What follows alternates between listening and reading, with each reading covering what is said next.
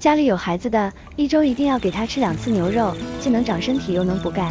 切好的牛肉加盐胡椒粉料酒生抽姜丝木薯粉抓匀腌制十分钟。油热姜蒜洋葱炒香倒入西红柿炒软加入土豆摆上牛肉加入三勺水。盖盖焖煮八分钟这样做的牛肉嫩而不柴超级下饭。